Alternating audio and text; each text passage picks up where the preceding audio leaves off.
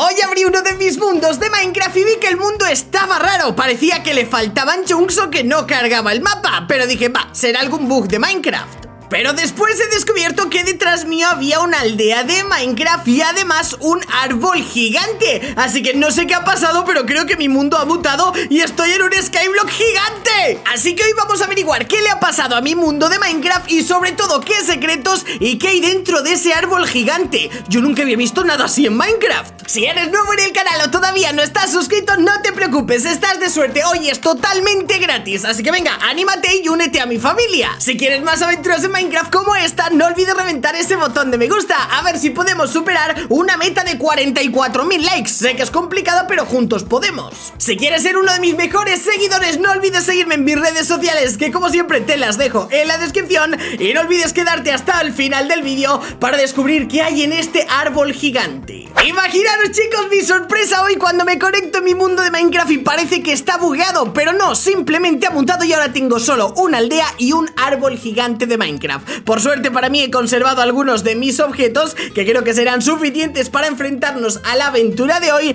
pero desde luego yo no tengo muy claro qué le está pasando a mi mundo de Minecraft o a mi Minecraft en general, porque cada día pasan cosas más extrañas. Ya os digo que tengo hasta miedo a acercarme a la aldea porque todos los aldeanos están ahí juntitos, así que imaginaros que ahora me acerco y empiezan todos a golpearme y me roban mis objetos. Y sobre todo, ¿dónde spawneo yo? Si no tengo casa, no tengo cama, me quedo en el vacío infinito. Tengo miedo. A ver, querido Queridos aldeanos, decidme por favor que no sois agresivos, que sois pacíficos, no sois mutantes, ¿vale? Parece que así es E incluso los granjeros también tienen su trabajo y todo, vale, perfecto Pero lo que me llama la atención es que estén todos en el centro de la aldea Me hago una idea que están entre ellos discutiendo porque de la noche a la mañana estaban en un lugar bonito y ahora están en un skyblock al pie de un árbol gigante Parece ser que los aldeanos también son víctimas, es decir, ellos no tienen nada que ver en esto O por lo menos, no sé, si no me atacan ni me hacen nada Me imagino que estarán en equipo, pero por si acaso voy a disolver esta manifestación. Venga, todos a casa, que ya es muy tarde. Yo voy a entrar en ese árbol gigante que creo que tiene una puerta, o esa impresión me ha dado. Ahí está la puerta, y voy a descubrir a ver qué es lo que está pasando aquí. Así que no os preocupéis, aldeanos, me comprometo que esto yo lo voy a solucionar.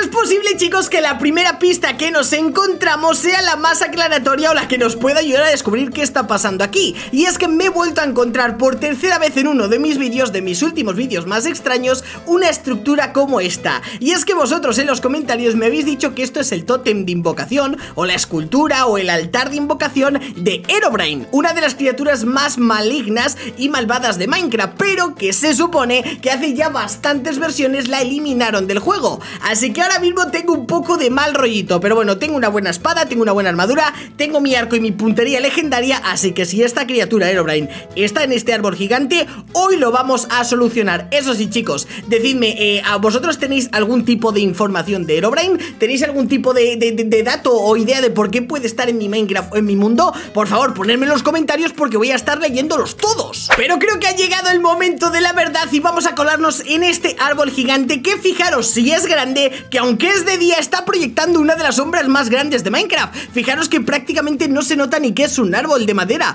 de toda la oscuridad que tiene, pero lo que sí tiene es una puerta de acceso. Eh, parece que la sala está vacía, así que voy a entrar Y de primeras lo que me encuentro es una prueba de parkour Y un zombie que trae una espada de... ¿De qué trae la espada? De madera. Ah, vale, pues nada, te pego dos espadazos y pa' tu casa, compañero. Pero claro, uh, vale, parece que no está solo Tiene algún que otro amigo. Señor zombie, por favor, déjame en paz Vete a tu casa. La primera prueba que nos encontramos en este árbol Por lo que veo es un parkour de hojas. La verdad, bastante sencillito Y cada día soy más pro en el parkour Así que no creo que tengamos ningún problema en pasar esta prueba. Pero lo que sí que me da miedo es que estoy escuchando una cantidad bastante bestia de zombies aquí encima. Así que cuando termine el parkour creo que me voy a tener que enfrentar a una de las batallas más épicas de la historia de Minecraft. Vale, desde aquí saltamos a este y atentos que es muy posible que me cago en todo, iba a decir lo consigamos al primer intento Pero no, siempre que abro la boca la lío. Pero bueno, ahora lo voy a hacer a toda velocidad Creyéndome, como os digo, todo un profesional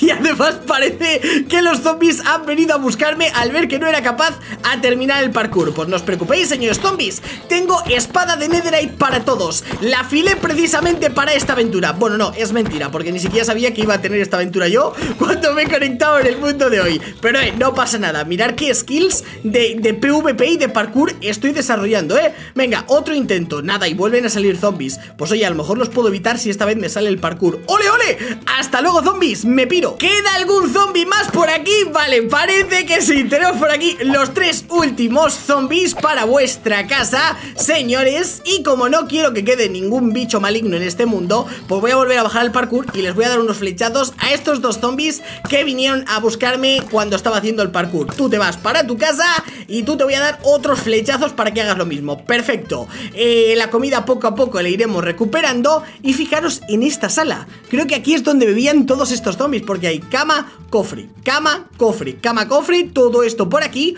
Una puerta de hierro que me imagino que me bloquea el paso a la siguiente sala Y por aquí más camas y más cofres ¿Y qué hago yo ahora? ¿Alguno de estos zombies me tenía que dar una palanca o algo? Yo por aquí solo veo carne zombie, experiencia y yo no tengo palanca. Voy a ver qué tienen los zombies en sus cofres y por lo que veo tienen madera, palos y brotes de roble. A ver, este también tienen lo mismo, madera, palos y brotes de roble. Me imagino que en alguno de estos cofres estará escondida la palanca, pero claro, esto va a ser la cosa más pesada del mundo. Pues nada, voy a ir revisando cofres. ¡Ajá, eureka! Aquí está la palanca, vale, perfecto. Estas dos primeras pruebas la verdad es que han sido bastante sencillas. Es decir, abajo teníamos un parkour asumible y aquí una batalla con zombies que también la hemos llevado bastante bien. Así que coloco por aquí mi palanquita, clic, abrimos la puerta y nos vamos a la siguiente sala. Eso sí, vamos a comernos unos panes que no sabemos lo que nos va a esperar al otro lado. Hola, hola, hola, hola, hola. Y parece ser que nos encontramos una puerta con candado. Vale, esta ya sabemos todos cómo funciona.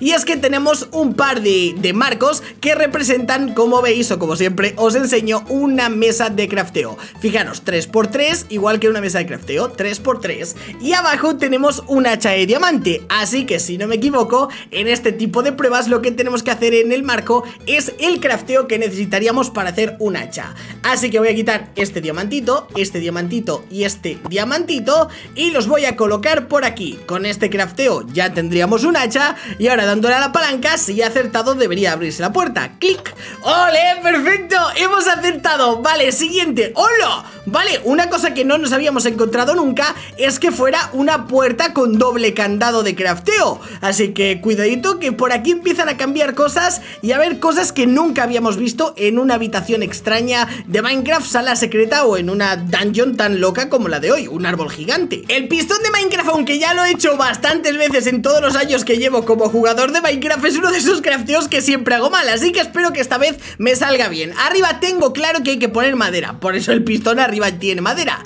Y a los laterales sé que tengo que poner cobblestone Pero lo que nunca sé es que va en el medio Si va la redstone o si va el hierro. Me la voy a jugar a que va el hierro Y vamos a colocar abajo la redstone Ya que bueno, como le entra la redstone Pues por, por cualquier lado de del pistón Realmente, pues no sé A mí me da la impresión de que este es el crafteo Pero bueno, que nos lo demuestre la palanca. ¡Clic! ¡Oh! Vale, he acertado. Os prometo que tenía muy claro que iba a fallar Pero bueno, parece ser que hemos acertado. Esto nos descubre la escalera a la siguiente sala Así que nada, vamos a ver que nos encontramos Unos huequecillos, pero vale, parece ser que solo tienen eh, antorchas.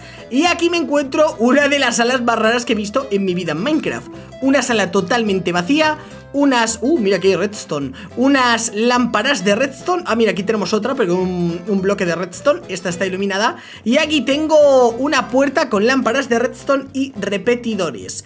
Eh, Vale, y en este cofre tenemos eh, polvo de redstone, 33 Y tenemos repetidor de redstone. Vale, creo que tengo la impresión de que tengo que llevar la redstone de aquí a esa puerta pasando por todas las, las, eh, ¿cómo se llama esto? Las, por favor Carlos, tú puedes, lámparas de redstone. ¿Por qué creo que hay que pasar por todas? Porque si os fijáis tienen redstone encima Así que me imagino que hay que interconectarlas. Pero bueno, ya veremos qué tal nos sale. Vamos a sacar la redstone del bloque y lo vamos a llevar hasta la primera lámpara. Perfecto, desde esta lámpara creo que voy a llegar hasta esta otra. Vale, perfecto, pero no me llega la señal de redstone Así que imagino que tendré que utilizar un repetidor. Voy a colocarlo aquí directamente. Vale, bien.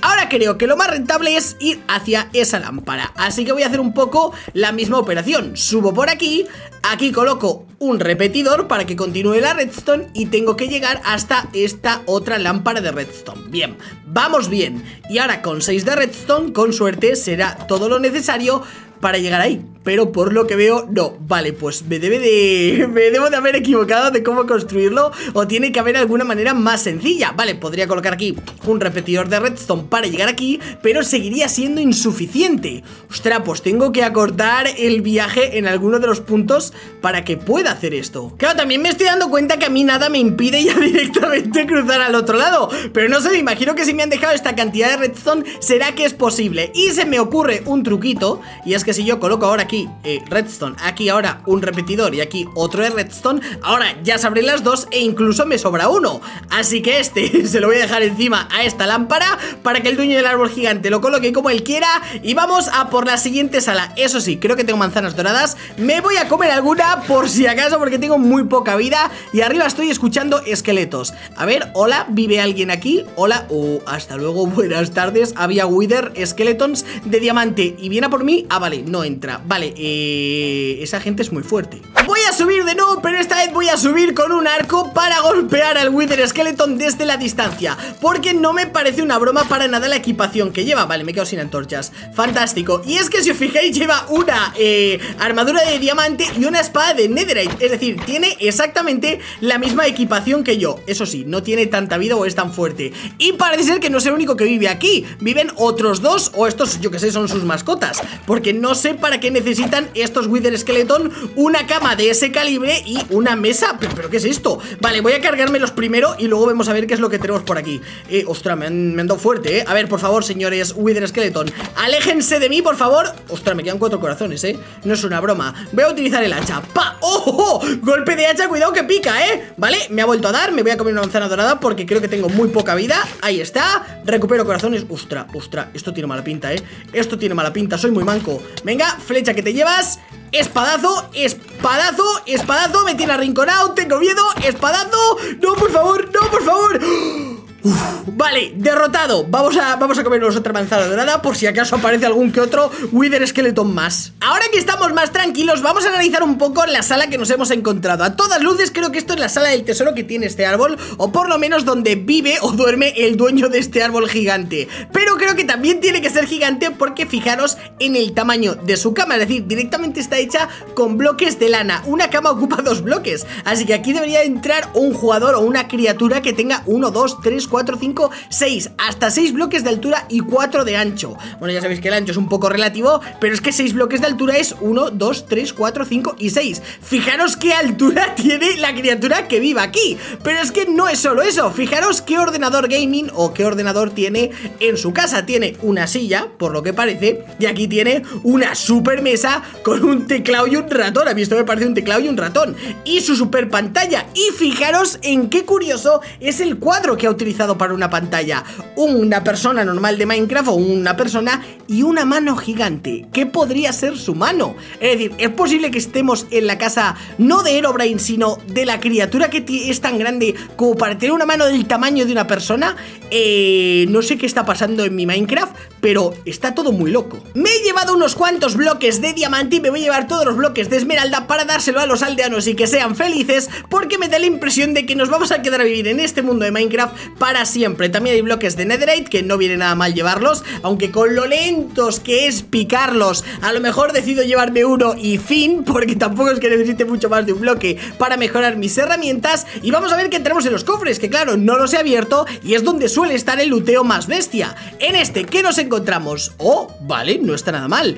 35 rosas de Wither, 11 cabezas de esqueleto Wither y 3 estrellas del Nether. Con esto ya sabéis que se pueden hacer beacons y yo en compensación pues le voy a dejar un poco de mierda que tenía por el inventario. En este cofre que tenemos, ¡ostra! Vale, este parecía el cofre del Wither y este el del dragón, ya que tenemos 16 eh, aliento, eh, bueno, frascos de alientos de dragón, cristal del End 3, con esto se puede resucitar al dragón, dos cabezas de dragón y 19 ojos de Ender, aparte de un cofre del Ender que me llevo yo para mi inventario. Y aquí que tenemos, ¡ostra! Vale, directamente una armadura de netherite. Dejamos también las semillas de trigo y la mesa de crafteo Y ahora sí que sí tengo espacio para toda mi nueva armadura de netherite. Estos bloques y el diamante lo voy a dejar por aquí Ya que no me interesa para nada. Y vamos a ver a qué altura estamos del árbol. ¡Hola! Vale, estamos a bastantes bloques. Mira, los aldeanos ya vuelven a estar concentrados Pero como os decía, vamos a llegar a un trato. Voy a hacer un water drop desde esta pedazo de distancia que la verdad creo que sean más de 100 bloques. Si sale bien y no me mato, tenéis que reventar el botón de me gusta. Eso sí, si sale mal el water drop y me mato, tenéis que dar dislike. Eh, trato hecho, eh. Así que prepararos que vamos a hacer este water drop. Iba, iba a comer pan, pero ¿para qué? Si me voy a matar tenga 3 corazones o tenga 20 Para un water drop como este creo que lo mejor es llevar armadura de netherite para estrenarla. Así que nos ponemos mi cubito de agua en la mano. Y chicos, espero que cumpláis el trato, ¿eh? A la de una, a la de dos y a la de tres. Allá vamos, por favor que me salga Vale, menos mal que me ha salido Si no me habría reventado contra el suelo Y a saber dónde spawneo. Seguro que en el vacío y me quedo sin objetos. Pero bueno, como os digo, voy a regalarles Estos bloques de esmeralda a los aldeanos Y nada, en futuros vídeos tendré que ver Cómo salir de este skyblock gigante. Vuestra participación en el vídeo de hoy es súper importante Así que por favor chicos, espero que reventéis ese botón de me gusta Y sobre todo darme la información que conozcáis sobre Herobrine En los comentarios Para yo, si me lo encuentro en el futuro O tengo que seguir sufriendo estas cosas estar bien preparado. Así que nada, como siempre os digo, espero que os haya gustado el vídeo de hoy tanto como a mí grabarlo. Si es así, no olvidéis reventar ese botón de me gusta, suscribiros al canal y seguirme en mis redes sociales Que os las dejo en la descripción. Yo chicos, voy a seguir investigando este mundo gigante de Minecraft Y a vosotros os veo en mañana en nuevos vídeos. Así que nada, un besito, un abrazo, soy Carlos Castle y adiós